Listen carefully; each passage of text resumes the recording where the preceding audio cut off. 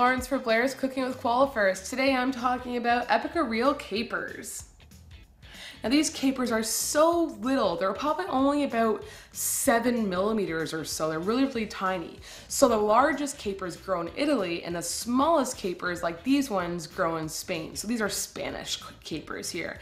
And they come in this really great, I love this jar. It would be really great even to use afterwards for your vinaigrette, for your lunch, or just even to put on your counter. It's so nice with a couple of flowers and it'd be really, really cute. Now back to the actual capers itself. Concentrate, Blair, concentrate. So these capers capers have a really great vinegar, lemon, uh, wild thyme, even like a mustard taste to them. They're great. They're really fresh tasting. Um, I'll show you them here. I put them in this little tiny container here and they're quite tiny and they have this great dark emerald green color. They're still quite firm um, so they're all muddled together. You know how you get caper sometimes and, the, and they kind of start flaking a little bit. All the shells start coming off. So they're all whole. They're really high quality. They're really, really firm. It's really a nice caper.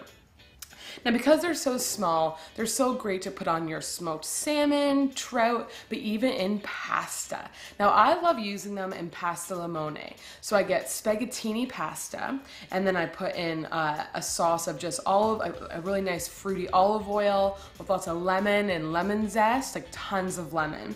And then Parmesan cheese for that saltiness, spinach for that great texture and that, that light, um, earthy type taste and then definitely these capers and some and some caramelized red onions. But these capers really add just like a they're nice because they kind of spread out nicely throughout the entire dish right? Because they're so tiny. And they add this great complementary lemon thyme and mustard taste that really does complement the pasta limone but you can use it in a bow tie pasta. There's so many there's so many uses for capers. And they're so great to uh, to bring for your lunch just because there's so much flavor kind of just packed in these things. They really add to anything that you're using them with.